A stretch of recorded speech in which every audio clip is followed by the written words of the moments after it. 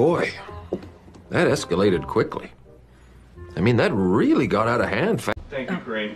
Uh, some of these encampments, they have matching tents. We're being told that there are professional outside agitators involved. We don't know if they're being paid to sow chaos by domestic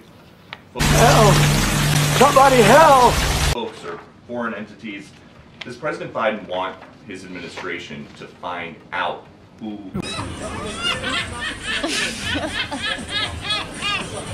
is funding some of these protests? What I can say, I, I- you know, um, I cannot. Uh, What the hell are you talking about? Who are you talking to? I cannot speak to uh, the organizations that are being reported out on the ground. I think you should meet 10 Second Tom. That is not something for me to speak to. Uh, that is obviously something that local governments, uh, local officials, I keep saying Is that right? Local government, local officials are uh, going to uh, speak to. They'll have better information uh, on that. Uh, what we have said, and I don't think I've iterated